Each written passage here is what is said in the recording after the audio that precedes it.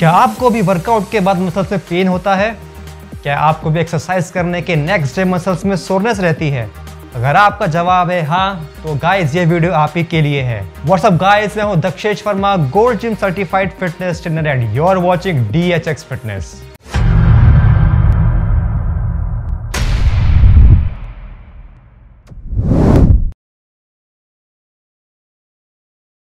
workout करने के बाद मसल सोनेस होना बहुत ही नॉर्मल चीज़ है गाइज़ अगर आप एक बिगनर हैं तो आपके मसल से बहुत ज़्यादा सोनेस होने वाली है.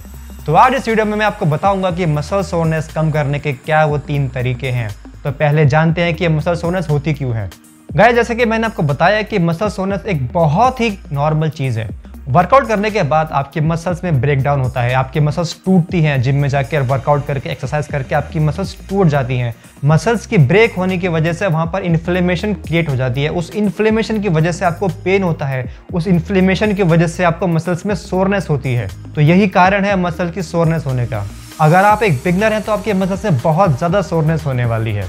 क्योंकि नंबर एक, आपके मसल्स को बिल्कुल भी हैबिट नहीं है वेट लिफ्टिंग करने की। और नंबर दो, आपकी मसल्स बिल्कुल इमेच्योर हैं। उनको मैच्योर होने के लिए टाइम लगेगा। जैसे जैसे आप वेट लिफ्ट करते रहेंगे धीरे धीरे तो आपके मसल्स को मैच्योर होने का टाइम मिलेगा। और जैसे ही आप प्रोग्रेस करते रहेंगे बिगनर से इंटरमीडिएट इंटरमीडिएट से एडवांस लेवल पे तो धीरे धीरे आपकी मसल सोरनेस कम होती रहेगी, क्योंकि आपकी मसल्स को आदत होती जाएगी वेट लिफ्टिंग करने की और आपकी मसल्स मैच्योर हो जाएँगी। तो चलिए बात करते हैं फ़र्स्ट टेक्निक की आइस बाथ और कोल्ड वाटर बाथ ठंडे ठंडे पानी से नहाना चाहिए।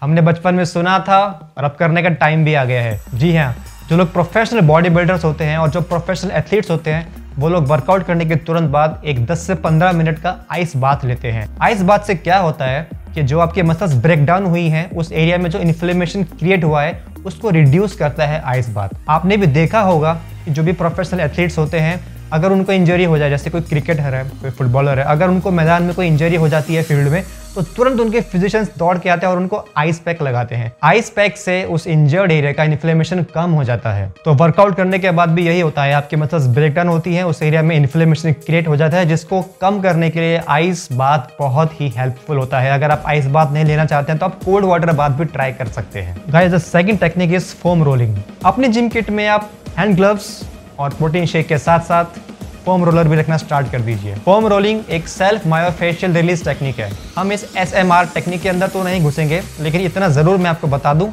कि फोम रोलिंग करने से आपके मसल्स की टेंशन कम हो जाती है, उनका इन्फ्लेमेशन कम हो जाता है, उनकी स्टिफनेस कम हो जाती है, और जो आपकी रेंज ऑफ़ मोशन होता है आपके जॉइंट्स का, वो बहुत ज़्यादा बढ़ जाता है। ये इतनी इफ़ेक्टिव टेक्निक है कि आप इसको प्री वर्कआउट और पोस्ट वर्कआउट दोनों टाइम कर सकते हैं। तो जिस भी मसल को आप जिम के अंदर टारगेट करने वाले हैं एक्सरसाइज करने से पहले उन मसल्स को फोम रोलर से उनकी टेंशन को रिलीज़ कर लीजिए। उनको खोल दीजिए, उनको रिलैक्स कर दीजिए। और वर्कआउट के बाद भी जब आपके मसल्स में पेन होता है तो वर्कआउट करने के बाद एक बार और उस सेशन को आप कैरी आउट कीजिए।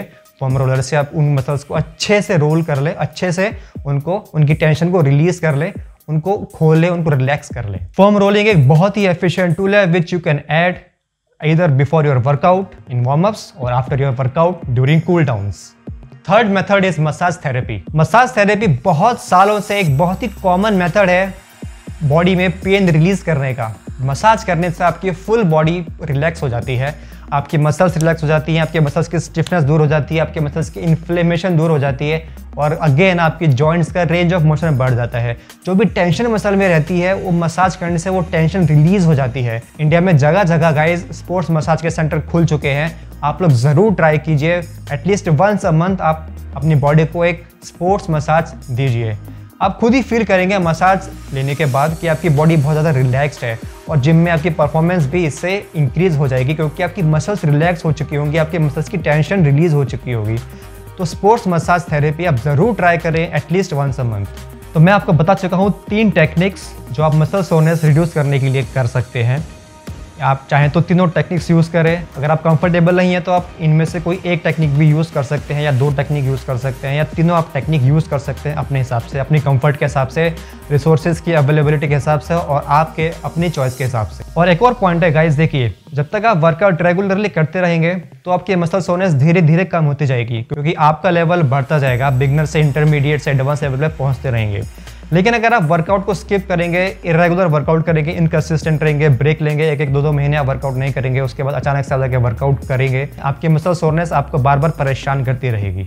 तो मसल सोरनेस तो वेट लिफ्टर की लाइफ का एक हिस्सा है you can never run away from it so just keep in mind this three techniques to reduce muscle soreness और guys also keep in mind कि आपको चैनल भी सब्सक्राइब करना है। आप लोग वीडियो देख लेते हैं, लेकिन चैनल सब्सक्राइब नहीं करते हैं। बहुत ही गलत बात है फ्रेंड्स अगर आपको मेरे वीडियो का कंटेंट सही में पसंद आया तो वीडियो को लाइक करो और फटाफट से चैनल सब्सक्राइब करो यार और बेल आइकन को ज़रूर प्रेस करें ताकि मेरी नेक्स्ट वीडियो आते ही आपको तुरंत नोटिफिकेशन मिल जाए और आप कोई भी अपडेट मिस ना करें मैं मिलूँगा आप लोगों से मेरी नेक्स्ट वीडियो में with lots of fitness related useful information आप लोगों के लिए till then take care stay fit signing off.